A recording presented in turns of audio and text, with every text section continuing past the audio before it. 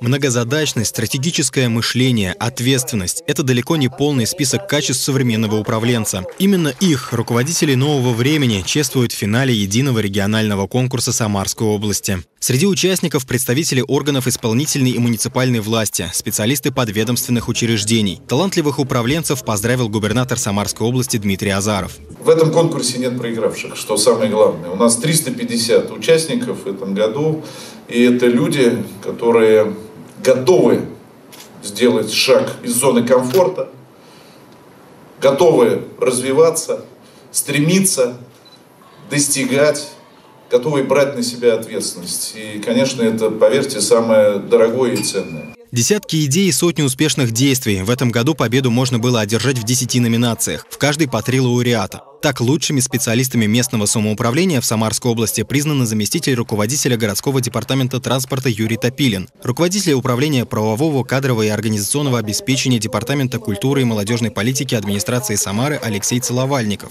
и консультант отдела организационной работы администрации Советского внутригородского района Екатерина Литвинова. Их идеи направлены на модернизацию и улучшение эффективности государственного управления. Три ключевые вещи – это показатели работы, оценка деятельности и обратная связь. Очень очень приятно вот получить такую высокую оценку результатам своей работы. Надеюсь, вот э, мой положительный пример, он будет востребован и удастся передать свой опыт, знания, навыки вот тем людям, с которыми мы вместе работаем. Лучшими практиками и инициативами в системе муниципального управления признаны идеи директоров 133-й гимназии Оксаны Териной и лицея «Престиж» Алексея Атапина.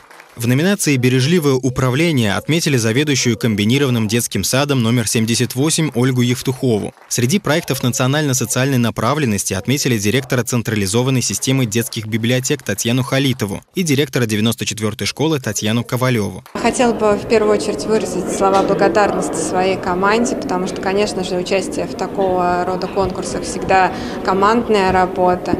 Особенно моим ребятам, ученикам нашей школы, которые поддерживают все наши идеи.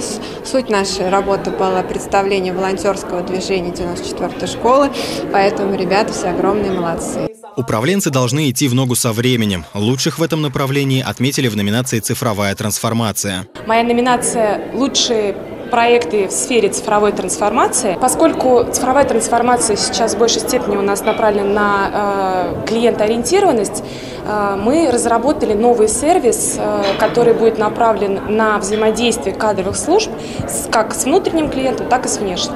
Еще одним лауреатом этой номинации стала консультант отдела культуры, физкультуры, спорта и молодежной политики администрации Красноглинского района Самары Марина Ларионова. В номинации «Таланты» отметили тех, кто работает с подрастающим поколением. Я победила в номинации «Талант региона». Когда приходится э, проводить уроки в дистанционном формате, нужно находить э, особенные подходы к обучающимся.